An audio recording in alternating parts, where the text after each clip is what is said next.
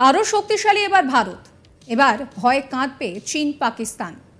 ভারত এবারে Sukhoi thirty MK, এই fighter জেটকে আরও শক্তিশালী করার প্রস্তুতি নিচ্ছে।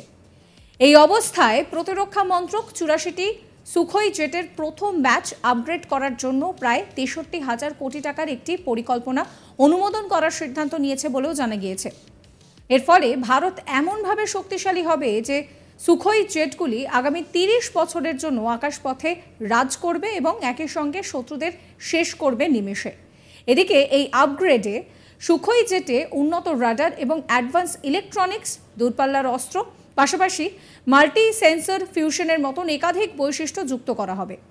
এরপর এই সুখই জেটগুলি পঞ্চম প্রজন্মের ফাইটার প্লেনের সঙ্গে পাল্লা দিতে পারবে। এর ফলে এই আপগ্রেড করা সুখই জেটগুলি দু হাজার পঞ্চান্ন সাল পর্যন্ত উঠতে সক্ষম হবে।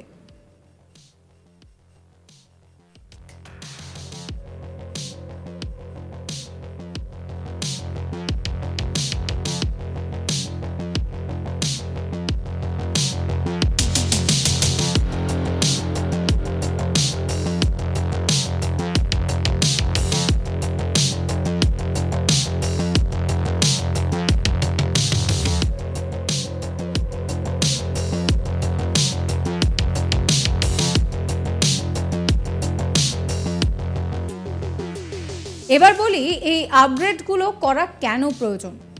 বর্তমানে ভারতীয় বায়ুসেনার কাছে মাত্র তিরিশটি ফাইটার স্কোয়াড্রন রয়েছে, যেখানে চীন ও পাকিস্তান উভয়ের সঙ্গে মোকাবেলা করতে বেয়াল্লিশটি স্কোয়াড্রনের প্রয়োজন পড়ে। প্রতিটি স্কোয়াড্রনে ষোলো থেকে আঠেরোটি করে জেট রয়েছে। এই পরিস্থিতিতে এই সুখই জেটগুলিকে আপগ্রেড করা খুবই দরকার। হিন্দুস্তান অ্যারোনটিক্স লিমিটেড আগামী পনেরো বছরে এই চুরাশিটি সুখই জেটকে আপগ্রেড করবে। সিসিএস এর কাছ থেকে অনুমোদন মিললে তবে এগুলির ডিজাইন এবং বিকাশের ক্ষেত্রে সাত বছরের সময় লাগবে। এরপর জেটগুলিকে ব্যাচে আপগ্রেড করে নতুন বিমান বাহিনীতে অন্তর্ভুক্ত করা হবে।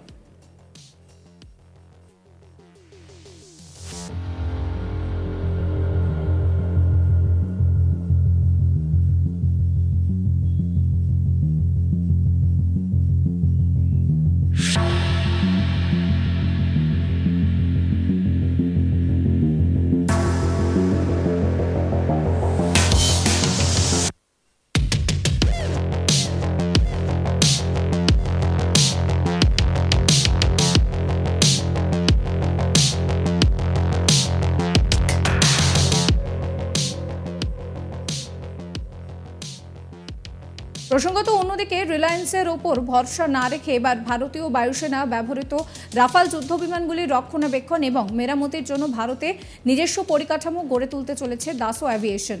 ফরাসি বিমান নির্মাতা সংস্থাটি ইতিমধ্যেই উত্তরপ্রদেশের নয়ডায়।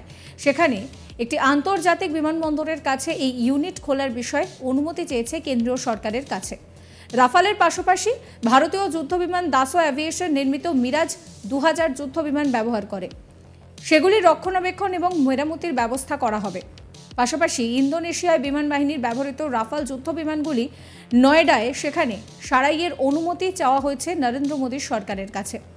এক্ষেত্রে আবেদনপত্রে আম্বানির নাম উল্লেখ করা হয়নি বলেই খবর।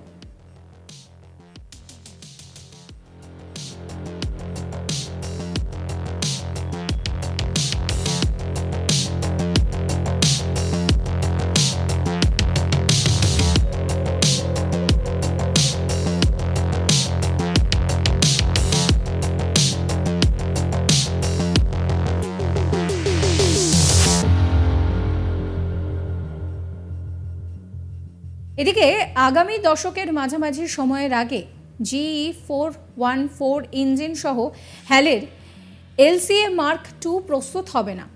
রাফাল যুদ্ধবিমান কেবল ভারতের প্রয়োজন মেটাবে তা নয়। ভারতকে তৃতীয় দেশগুলিতে একই যুদ্ধবিমান রপ্তানি করার অনুমতিও দেবে। দাসও ইতিমধ্যে রাফাল যুদ্ধবিমান তৈরির জন্য ভারতের সংস্থাগুলি থেকে টাইটেনিয়াম যন্ত্রাংশ সংগ্রহ করেছে এবং সরবরাহ চেইন তালিকায় আরও স্থানীয় বিক্রেতাদেরকে যুক্ত করার পরিকল্পনা চলছে। আইএএফ ইতিমধ্যেই হ্যামার এবং স্কাল্প ক্ষেপণাস্ত্র সহ ছত্রিশটি রাফাল যুদ্ধবিমান পরিচালনা করছে এবং ভারতীয় নৌবাহিনী বর্তমানে কিন্তু এর জন্য প্রস্তুত রয়েছে।